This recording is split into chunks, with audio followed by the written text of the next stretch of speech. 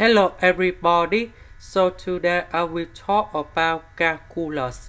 The topic today is about triple integrals. So now I will show you how to answer. We have dy in here, but we don't have y.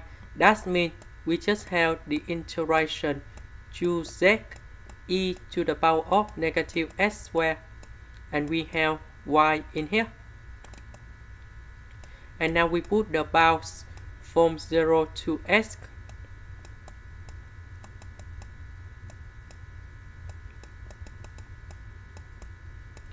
This one we have uh, from number 0 to number 1 from number 1 to number 4 so we put x in here. We put number 0 in here.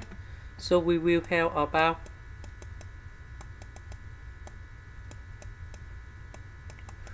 2x z e to the power of negative x square dx dz next we need to use about integration by substitution. So I will put about u equals to x square So if we do first derivative, we have to x dx. Next, we need to change the bounds. So when x equals to number 1, so we put number 1 in here. So you got about u equal to number 1 when x equals to number 0 so we put number 0 in here.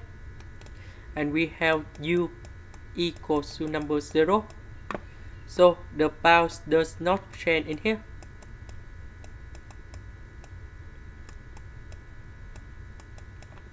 So to x with the x we change for the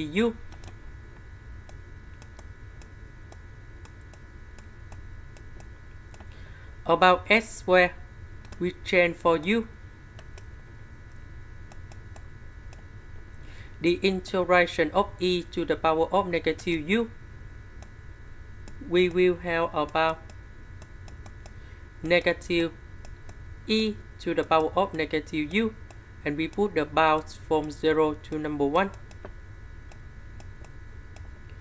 so we put number 1 and number 0 in here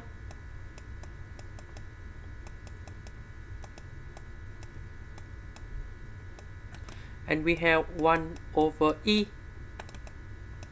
minus number 1 dz. So the integration of dz with z we have negative z square over 2 and we have 1 over e minus 1 and we put the bounds from number 1 to number 4 so we put number 4 go in here. Number 1 go in here.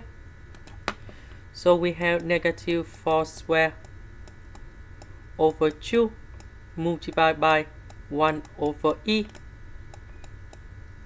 minus 1 plus 1 square over 2 multiplied by 1 over e minus 1 and now we need to simplify. So we have negative 15 over 2